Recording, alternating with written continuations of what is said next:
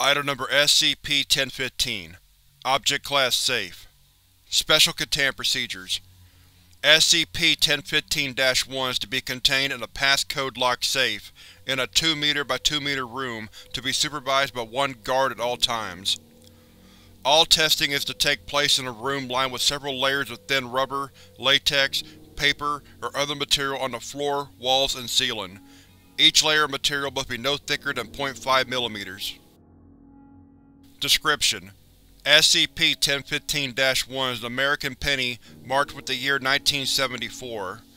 All markings present on the coin match pennies minted in this year.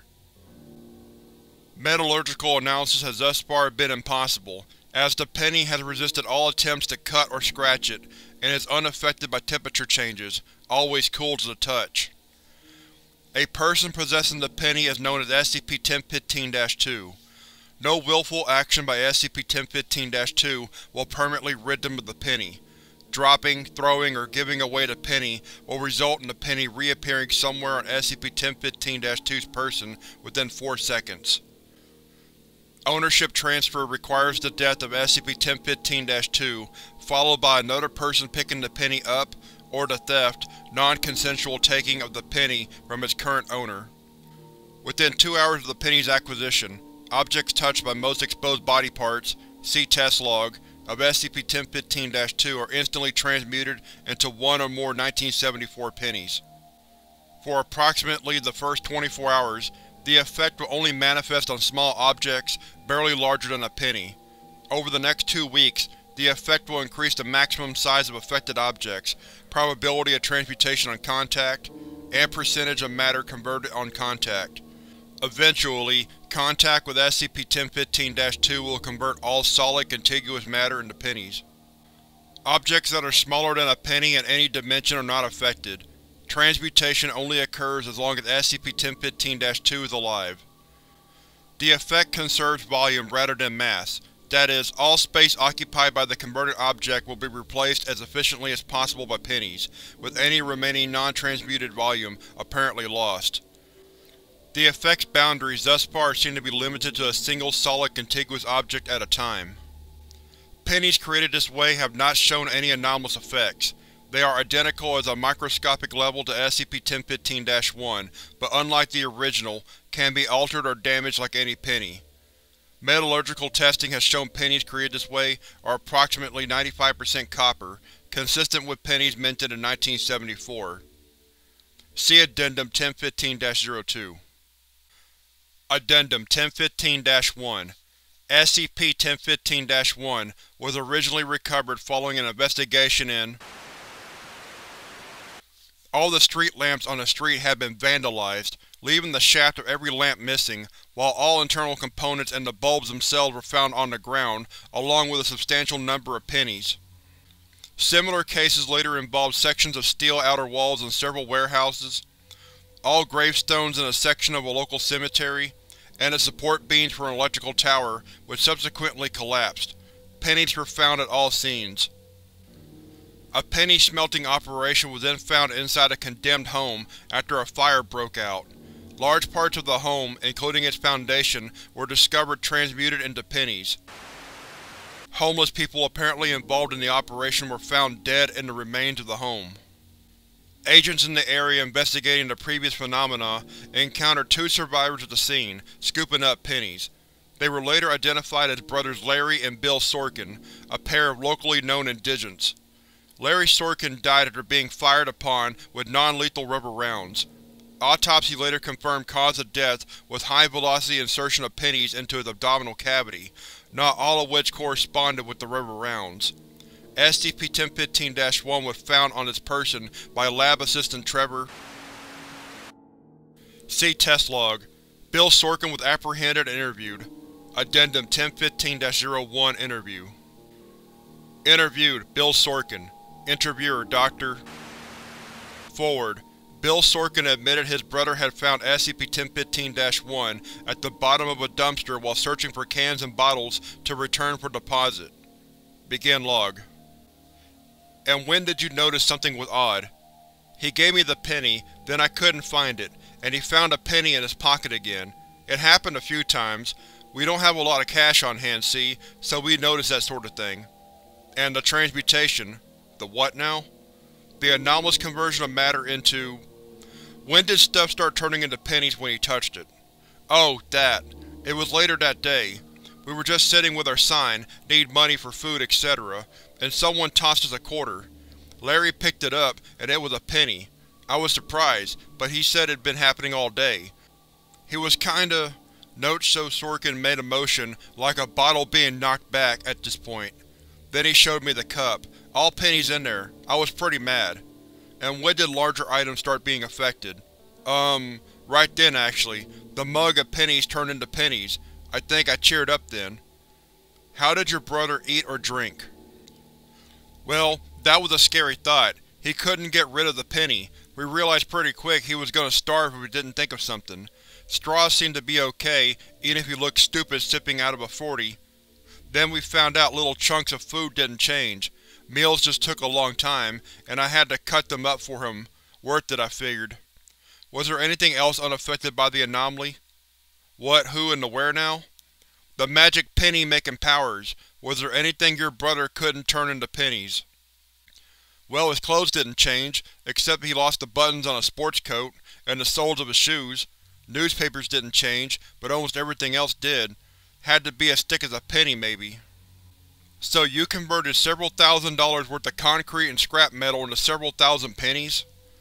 Sounds really stupid when you put it that way, but it was easier than taking this stuff as is.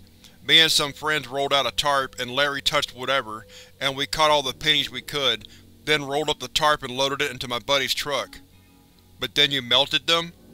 Those are 1974 pennies, copper, worth almost two cents each, and hey, imagine trying to sell a truckload of gravestones. Not happening. Moot point now, though.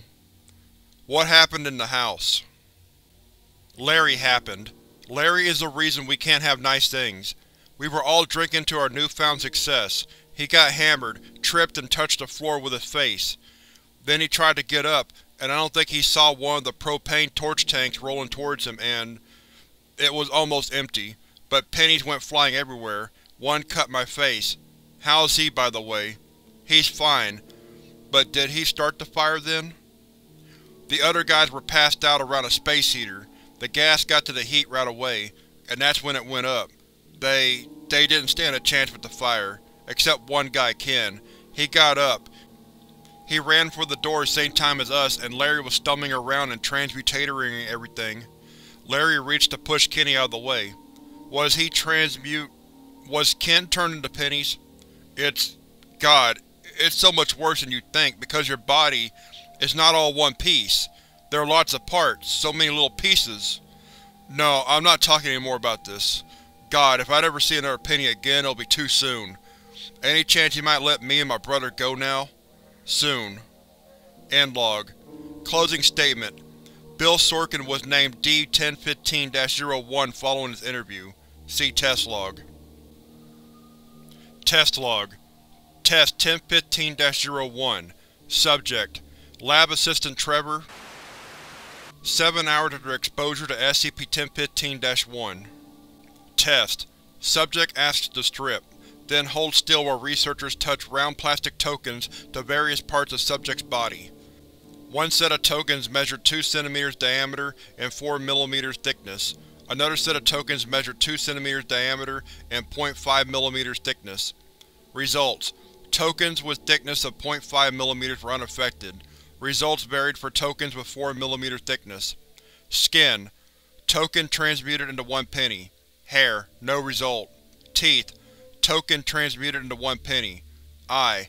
Token transmitted into one penny. Fingernails. No result. Toenails. No result. Tongue. Token transmuted into two pennies. Note: Subsequent tests with the tokens on tissues that previously yielded one penny then yielded two pennies. We believe this is because of the progression of SCP-1015-1's anomalous effects. Test 1015-02 Subject Lab Assistant Trevor. 10 hours after exposure to SCP-1015-1 D-1015-01 Test. Told to place SCP-1015-1 carefully in the hand of D-1015-01, then withdraw hand and immediately touch plastic token. Results: Token transmuted into two pennies despite absence of SCP-1015-1 on Person SCP-1015-1 vanished from D-1015-01's hand in 3.5 seconds. Located SCP-1015-1 in left sock. Test 1015-03 Subject: Lab Assistant Trevor 10.5 hours after exposure to SCP-1015-1 D-1015-01 Test Told to place SCP-1015-1 on table and turn away while D-1015-01 picked item up. Results: SCP-1015-1 vanished from D-1015-01's hand in 3 seconds. Located SCP-1015-1 inside own jumpsuit. Test 1015-04 Subject: Lab Assistant Trevor 10.5 hours after exposure to SCP-1015-1 D-1015-01 Test Told to strip naked. Place SCP-1015-1 on table, and turn away while D-1015-01 picked item up. Results: SCP-1015-1 vanished from D-1015-01's hand in 4 seconds, unable to be located for several minutes, until expressed significant discomfort in vanished from toilet bowl in 3.5 seconds and was located in right sock. Note: May I add, it's a good thing he thought to put that sock back on before… again? Test 1015-05 Subject: 11.5 hours after exposure to SCP-1015-1 D-1015-01 Test: D-1015-01 became agitated, demanding he be released, reunited with his brother, Larry Sorkin, whom Subject was unaware was killed during item recovery, and allowed to keep R. Penny. Quickly attacked, fracturing nose, right orbital bone, and right cheekbone, and knocking several teeth loose, rendering him unconscious. D-1015-01 then retrieved SCP-1015-1 from Hand. Results: SCP-1015-1 remained in D-1015-01's possession.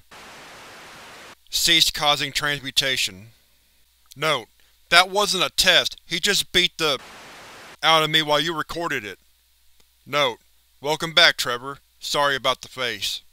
Test 1015-06 Subject: D-1015-01 Test: Subject refused further cooperation and was terminated with one gunshot to the head.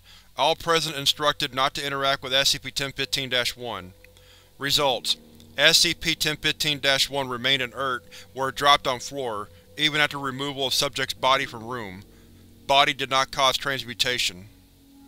Test 1015-07 Subject: D-1015-02 Test: Subject instructed to pick up SCP-1015-1 from floor where it dropped in previous test. Subject confirmed ownership of item by transmuting one plastic token approximately one hour later. Subject was then isolated for two weeks in a room lined with a layer of paper, beneath a layer of cellophane, beneath a layer of rubber approximately 0.5 mm thick. Results: Layers remain unaffected. Test 1015-08 Subject: D-1015-02 One week after exposure to SCP-1015-1 D-1015-03 Test D-1015-02 instructed to touch various objects in order to establish boundaries for transmutation effect. Results varied. Block of solid oak wood. Block transmuted entirely to pennies. Glass brick. Glass transmuted entirely to pennies. Drinking glass, round, 10 cm diameter, 2.5 mm thickness. No result. Note: A good rule of thumb seems to be that the matter to be converted or replaced must be able to contain a penny in the three-dimensional space the original item occupies, such as the glass was too curved in this case. Water in glass. No result. Note: I think it's obvious we don't have to test gases. Wet sponge. Sponge transmuted. Volume taken up by penny slightly less than exterior volume of sponge. Pennies wet and resting in puddle. Block of wood coated in fresh paint. Block transmuted. Pennies sitting in puddle of wet paint, some splashed with paint. Block of wood coated in dried paint. Block transmuted, no paint remaining. Block of wood with old peeling paint. Block transmuted, some paint chips remaining. Dining room table with leaf installed. Section of tabletop that was touched transmuted entirely to pennies. All other components of table, leaf, other tabletop section, legs, molding around tabletop that was nailed in place, nails and other metal fixings unaffected. Two blocks of wood adhered together using brand glue. Block touch was transmuted, other block unaffected. Block of ice 4 meters cubed. Block transmuted, some pennies wet, and puddle discovered after pennies were cleared out of room via industrial vacuum. D-1015-03 Naked, restrained to an upright dolly. Entire epidermis and dermis transmuted to pennies, along with portions of hypodermis. Large nerve fibers and blood vessels remain unaffected. Pennies landed on floor and puddle of various bodily fluids and body hair. Note: D-1015-02, who was initially reluctant to touch D-1015-03 for the test, reacted violently to results, immediately attempting finally causing death by brain collapse. D-1015-02 then attempted to attack Agent who terminated him with sidearm before physical contact was made. Please let's never do this again. Addendum 1015-02 Research originally suggested that pennies created by SCP-1015 had no anomalous properties. It is now known that an as of yet unidentified percentage of pennies created this way exhibit the anomalous effects of SCP-1015-1. On Police found the body of a Department of Public Works employee who had assisted in the cleanup of the house fire where SCP-1015-1 was recovered, and who had subsequently not returned to work for more than a week. Had died of a self-inflicted gunshot wound to the head. Much of the home's furniture and architectural features were reported to be missing, with a large quantity of pennies found around the house, as well as blood and other bodily fluids smeared on the walls and floor. Wife and infant daughter were never found. Foundation agents recovered one instance of SCP-1015-1 on site. Further instances are to be contained by making use of D-Class personnel to avoid inadvertent ownership of SCP-1015-1 by Foundation personnel.